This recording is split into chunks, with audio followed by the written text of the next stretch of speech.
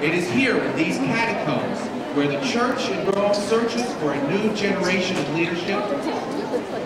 And it is here where John Mark is about to be called by the Lord to an extraordinary task, the preservation of the good news of Jesus Christ for generations to come.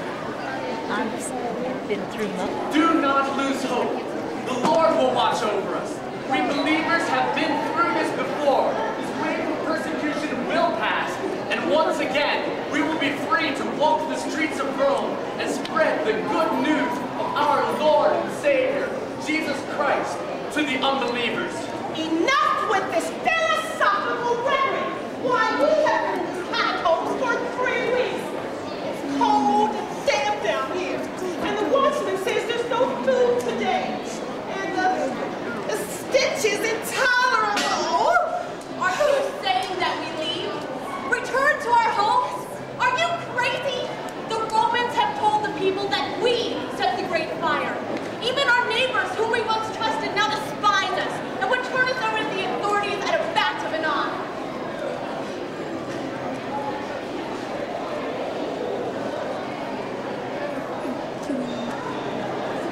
When will this great subside?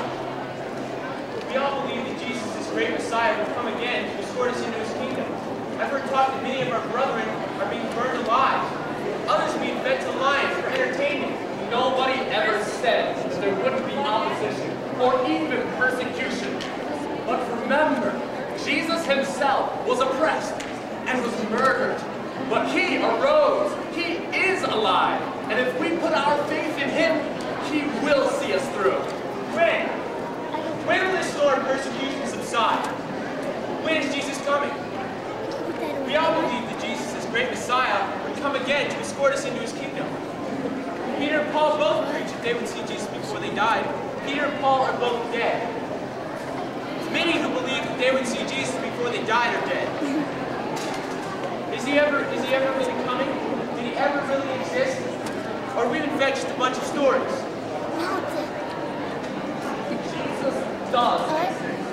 I have seen him work through the hands of those like Peter and Paul. I have seen his word change some of the most unsavory and hard people.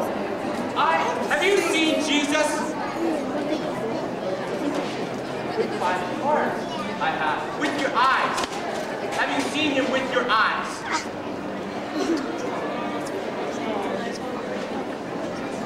No. Has anyone,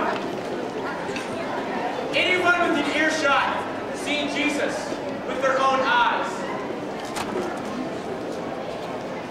I see Jesus with my own eyes. I, I saw Jesus baptized in the River Jordan by John the Baptist. I lived in Jerusalem with my mother and laid palms on the street as Jesus triumphantly through that city. I hid in the shadows at Gethsemane where Jesus was arrested. And I witnessed Jesus' death. It would be easy for us to let our faith in God be consumed by our fear of man. But I say truthfully, believe Jesus is alive, and he will come. When? I don't know. Perhaps not in our lifetime, but he will come. He will. Excuse me. You have been with us in Rome for three years. Yet this is the first time I've heard you speak of this man. Why, I don't even know your name. This is John Mark. He has had the honor of working with the strongest leaders of our time. Peter, our rock, who was like a father to Mark. The esteemed scholar and physician Luke. Faithful Barnabas, who happens to be Mark's uncle. And Paul, the greatest missionary and writer that I know. Why Mark and I have worked side by side many times. But I must admit that I too have, never heard him speak in public. Why is that, Mark? Because I'm not Peter, or Luke, or Barnabas, or Paul. To be honest, there have been times when I wished I could be like them, but I know that my strength doesn't lie in preaching or guidance or healing or even writing. So I've chosen to be content to serve the Lord in the shadows of these great men, using my back and my muscles rather than my words. And if it were up to me, I'd choose to leave it that way. But you have seen Jesus. Why, certainly you must have some insight of him that you can share with us. You said that it was up to us to spread the good news.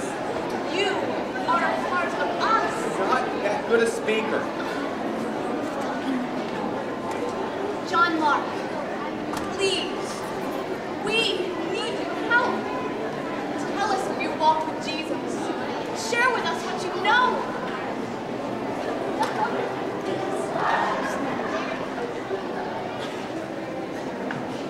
And if you want to see the rest, we have one more part of this presentation to share with you.